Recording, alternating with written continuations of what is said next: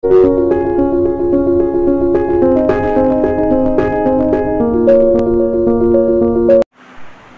students, good morning.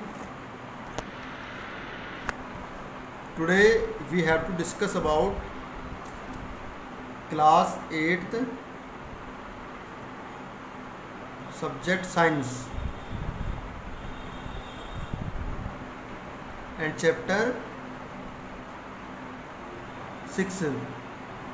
combustion and flame combustion and flame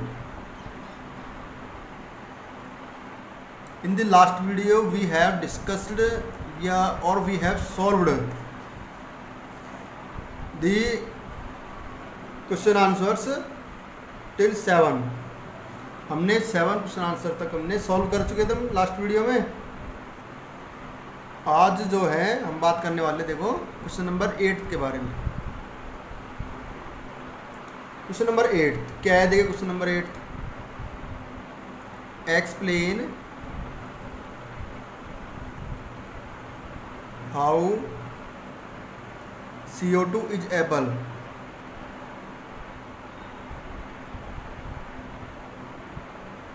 how CO2 two is able to control fires to control fires हमको explain करना है कि fire को control करने में CO2 कैसे एबल होती है यानी किस तरह से CO2 आग को बुझा देती है देखिए इसका आंसर की बात करते हैं आंसर क्या लिखोगे देखिए इसमें आंसर आंसर में लिखना है CO2 is the best extinguisher best extinguisher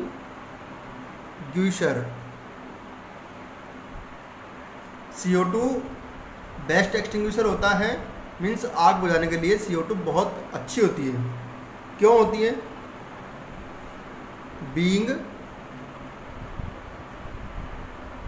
heavier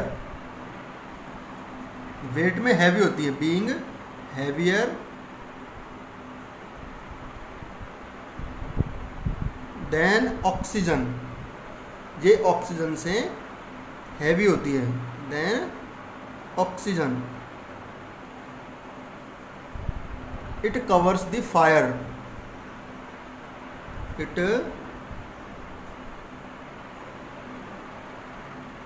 covers the fire like a blanket like a blanket ये एक ब्लैंकेट की तरह यानी एक कंबल की तरह फायर को कवर कर लेती पूरी को क्योंकि क्योंकि भारी होती है इसलिए ठीक है सो या कह सकते हैं since since the contact the contact between the fuel and oxygen between the fuel and oxygen fuel और ऑक्सीजन के बीच जो कांटेक्ट हैं इज कट ऑफ यानी जो कांटेक्ट है फ्यूल और ऑक्सीजन के बीच में वो कट जाता है ठीक है and and the fire is controlled the fire is controlled और जो आग है वो कंट्रोल्ड हो जाती है ठीक है ये इसका आंसर लिखोगे इस तरह से फंक्शन करती है क्या होता है कि हैवी होती है ऑक्सीजन की बजाय तो ये फायर को पूरी तरह से ब्लैंकेट की तरह कवर कर लेती है ठीक है ढक जाती है पूरी ढक लेती है उसको फायर को और ऑक्सीजन और फ्यूल के बीच में जो कॉन्टेक्ट होता है उसको रोक देती है ठीक है इस तरह से आपको हो बुझाती है इसके शॉर्ट लेके नोट कर लीजिए इसको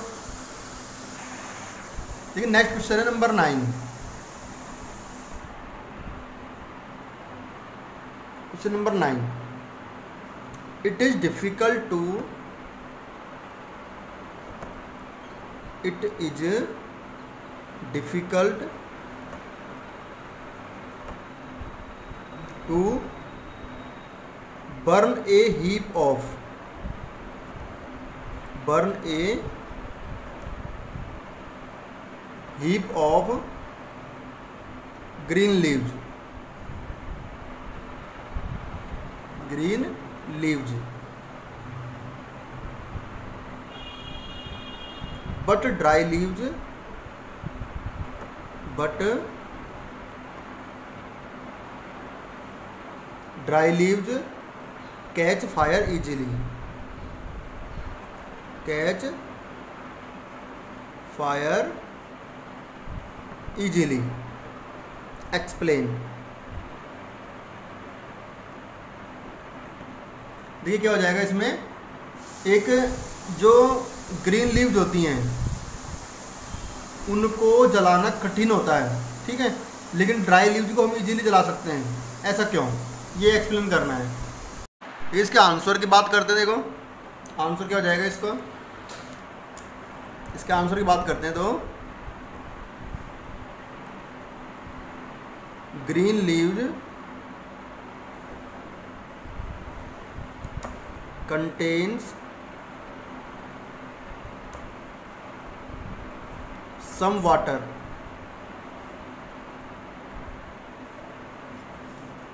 green leaves में कुछ वाटर होता है due to which due to which ignition temperature due to which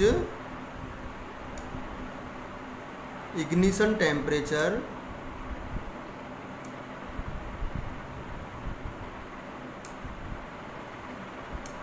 of leaves increases इसकी वजह से जो ग्रीन लीव्स हैं उनका जो इग्निशन टेम्परेचर वो इंक्रीज हो जाता है यानी जो फिर लंबे समय के बाद जलती हैं पहले सूखेगी उसके बाद जलेंगी वो while water is absent water is absent in dry leaves in dry leaves so they can be easily burn they can be easily burn ठीक है बर्न उनको आसानी से जलाया जा सकता है जबकि जो ग्रीन लीव उनको आसानी से नहीं जला सकते क्योंकि उनका इग्निशन टेम्परेचर इंक्रीज हो जाता है इसलिए हम उसको ईजिली नहीं नहीं जला सकते उसको ये इसका आंसर हो जाएगा इसको स्क्रीन शॉट लेके नोट कर लीजिए नेक्स्ट देखो number question ten question number ten है नेक्स्ट क्या है देखो which zone of a flame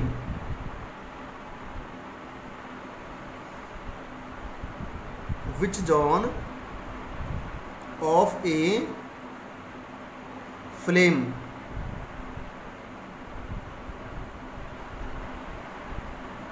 does a goldsmith does a goldsmith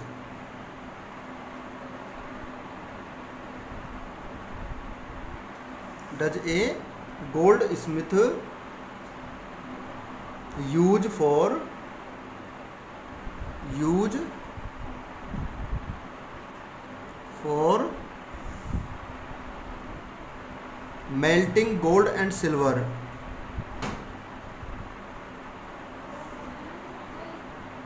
melting gold and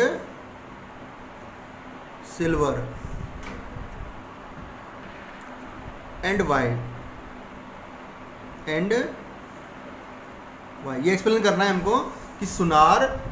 किस फ्लेम के किस जोन का यूज करता है सिल्वर और गोल्ड को पिघलाने के लिए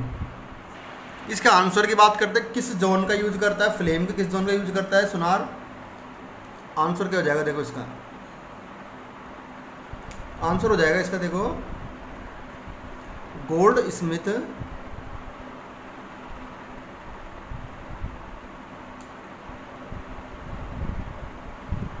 goldsmith uses the outermost zone outermost zone of a flame a flame एक फ्लेम का आउटर मोस्ट जोन जो होता है उसको यूज करता है goldsmith to melt the silver and gold and gold silver और गोल्ड को पिघलाने के लिए goldsmith outermost zone का यूज करता है because because the outermost zone